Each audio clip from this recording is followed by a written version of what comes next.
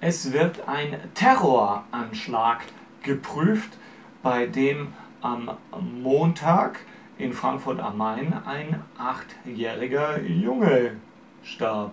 Hallo, mein Name ist Jürgen Felger für WIM Freiheit für Wirtschaft, Information und Meinung.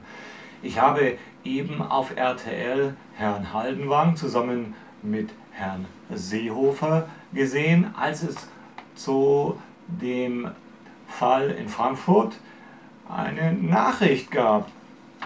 Herr Seehofer kommt wohl erst im Laufe des Dienstags nach Deutschland oder aus seinem Urlaubsort zurück und wird dann eine Pressemitteilung herausgeben. Was allerdings sehr wichtig ist, er will die, ich zitiere aus der Tagesschau, die Chefs der Sicherheitsbehörden treffen. Und eben sehe ich noch Herrn Haldenwang, das waren offensichtlich Archivbilder, aber immerhin hat RTL hier auf einen ähnlichen Fall in, dem, in dieser Sequenz verwiesen. Okay, also es wird geprüft, ob dies ein Terroranschlag ist und ja, das muss dann auch so benannt werden, wird aber nicht so benannt. Ja, das sind alles Einzelfälle.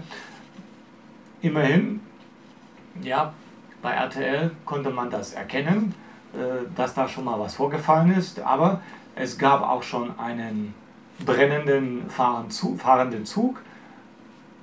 Daran kann ich mich erinnern. Und es gab auch schon in Köln einen Anschlag, bei dem ein IS-Terrorist eine ja, Mordanschläge verübte. Eine junge, ein, ein Mädchen, eine junge Frau wurde verletzt per, mit einem Brandanschlag und äh, dieser Terrorist hatte auch reichlich Feuer, ja, ja, Brennstoff dabei, um Feuer zu, weitere Feuer zu legen. Und am Montag, ich zitiere aus demselben Tagesschaubericht, ging es darum, dass eine Mutter mit ihrem Kind ins Gleisbett gestoßen wurde und Dabei hörte es nicht auf. Ich lese hier, und das habe ich jetzt bei der ganzen äh, Nachrichtenberichterstattung nicht gehört, hier steht, bei einer, der Mann soll auch die Mutter des Kindes ins Gleisbett gestoßen und es bei einer weiteren Person versucht haben.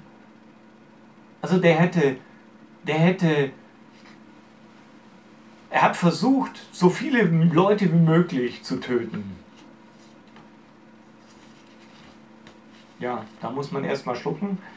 Und ja, so viel dazu. Erstmal so viel in dieser Kurzmeldung.